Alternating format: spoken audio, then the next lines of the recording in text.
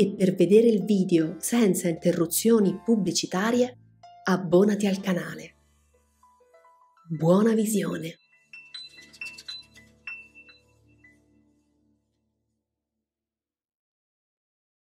Dopo un periodo più o meno lungo, il discepolo si trova davanti alla porta dell'iniziazione. Dobbiamo ricordare che ci si avvicina a questa porta e si avanza verso il Maestro con i piedi lavati nel sangue del cuore, come detto nel libro La luce sul sentiero.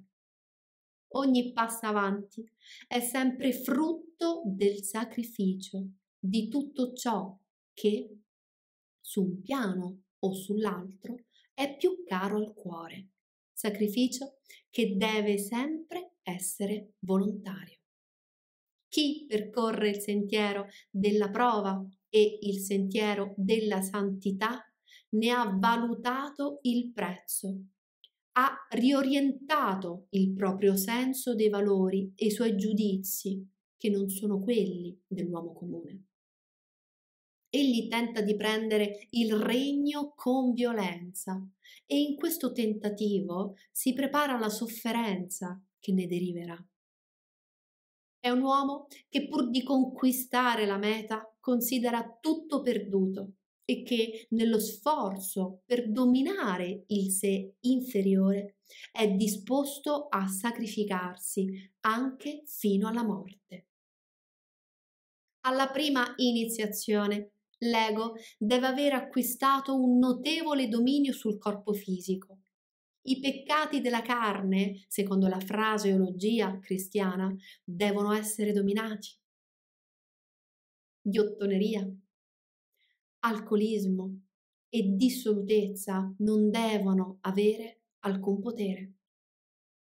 L'elemento fisico non deve più trovare risposta alle proprie richieste. Il dominio deve essere completo e ogni allettamento scomparso. Un atteggiamento generale di obbedienza all'ego deve essere presente e la disposizione ad obbedire deve essere molto forte. Il canale fra il superiore e l'inferiore è ampliato e l'obbedienza della carne è quasi automatica. Il fatto che non tutti gli iniziati siano a tale altezza può essere attribuito a diverse cause, ma la nota che fanno risuonare dovrebbe essere quella della rettitudine. Essi riconosceranno i propri errori con sincerità e apertamente e si sforzeranno in modo palese di conformarsi al livello di comportamento più elevato, anche se non potranno raggiungere la perfezione gli iniziati possono cadere e cadono, incorrendo così nella punizione secondo la legge. Cadendo possono nuocere e nuociono al gruppo e con ciò incorrono nel karma di riassestamento, dovendo espiare l'offesa fatta con un servizio più prolungato, nel quale, seppure inconsciamente, gli stessi membri del gruppo applicheranno la legge. Il progresso di questi iniziati verrà seriamente ostacolato, poiché molto tempo andrà perduto nell'esaurire il karma riguardante i danneggiati. Il fatto di essere un iniziato e perciò veicolo di forza di tipo molto potente fa sì che la caduta dal giusto sentiero, sentiero abbia effetti più potenti che per un uomo meno avanzato. La ricompensa come la punizione saranno quindi maggiori. Prima di poter procedere sulla via, il prezzo deve essere inevitabilmente pagato. Quale sarà l'atteggiamento del gruppo danneggiato? Esso riconoscerà la gravità dell'errore, accettandone saggiamente le conseguenze si asterrà da una critica non fraterna e irradierà amore sul fratello che ha errato. Tutto ciò accompagnato da un'azione che dimostri chiaramente a chi osserva dall'esterno come tali errori e infrazioni della legge non siano condonati. Nel gruppo interessato si assumerà inoltre un atteggiamento mentale tale da indurre, pur con la dovuta fermezza, ad aiutare il fratello a scorgere il proprio errore, ad esaurire il karma retributivo e infine, fatta la debita ammenda, a ristabilire la considerazione e il rispetto nei suoi confronti. Non tutti evolvono esattamente lungo le stesse linee di sviluppo e non è quindi possibile stabilire regole fisse per l'esatto procedimento da seguire ad ogni iniziazione né riguardo ai centri che devono essere vivificati e la visione che verrà concessa. Molto dipende dal raggio del discepolo o dalla particolare direzione del suo sviluppo. Generalmente le persone non si sviluppano in modo uniforme dal karma individuale ed anche dalle esigenze di un determinato periodo. Tuttavia, si può suggerire che alla prima iniziazione la nascita di Cristo, di solito viene vivificato il centro del cuore, allo scopo di ottenere un dominio più efficace sul corpo astrale e di servire l'umanità in modo più valido. Dopo questa iniziazione, l'iniziato verrà istruito principalmente sui fatti del piano astrale, dovrà stabilizzare il proprio corpo emotivo ed imparare ad operare su quel piano con la stessa facilità con cui lavora su quello fisico. È messo in contatto con i deva astrali. Impara a dominare gli elementi astrali.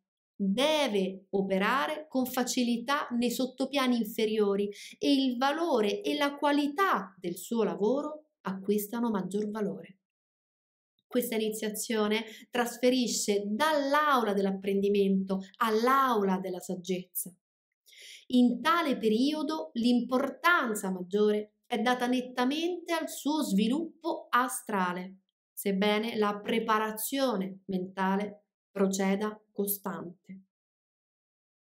Tra la prima e la seconda iniziazione possono trascorrere molte vite passa un lungo periodo di numerose incarnazioni, prima che il dominio sul corpo astrale sia perfezionato e l'iniziato sia pronto per il passo successivo.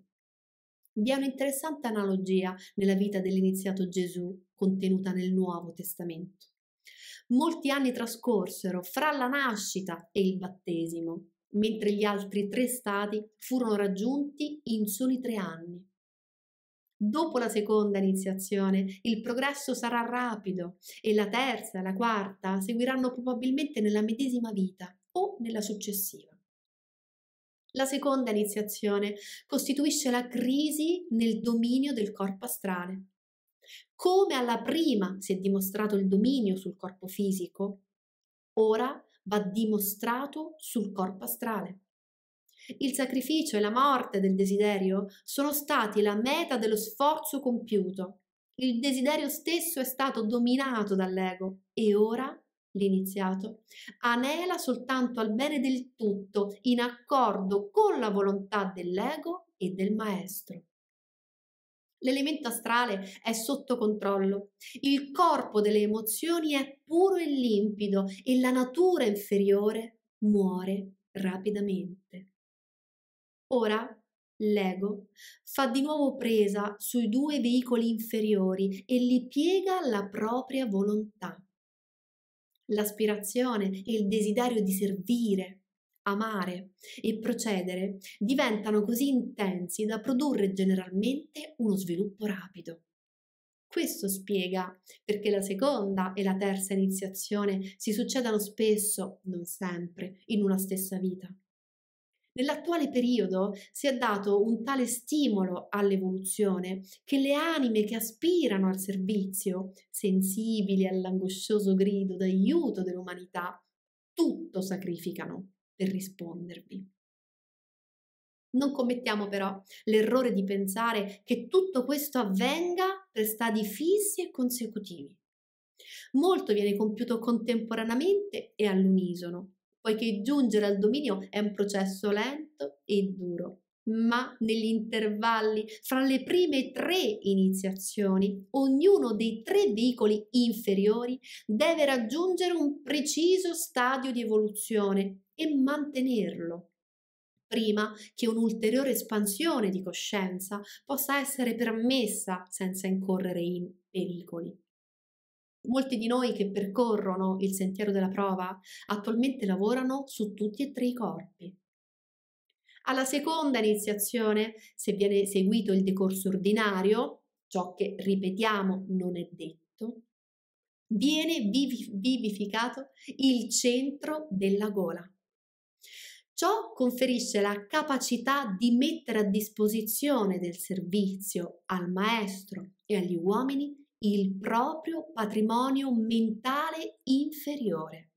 Viene conferita la capacità di manifestare ed esprimere, forse con la parola parlata, ma certamente con qualche forma di servizio, ciò che può essere di aiuto viene accordata una visione della necessità del mondo e mostrata un'ulteriore parte del piano. Per giungere alla terza iniziazione, il punto di vista personale deve scomparire di fronte alla necessità del tutto, ciò che implica il completo dominio della mente concreta da parte dell'ego.